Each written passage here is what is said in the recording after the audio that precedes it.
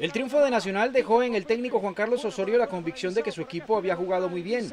Ante su rival La Guaira, las llegadas en el segundo tiempo de Jonathan Copete en dos ocasiones y una de Edwin Cardona mostraron a un Nacional más ofensivo. Por eso al técnico verde no le gustó cuando le dijeron que Nacional tenía que golear a La Guaira.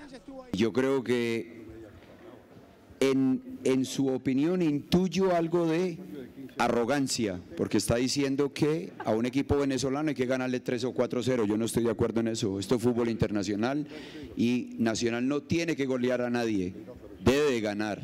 Para los de Venezuela fue un gran partido para ellos.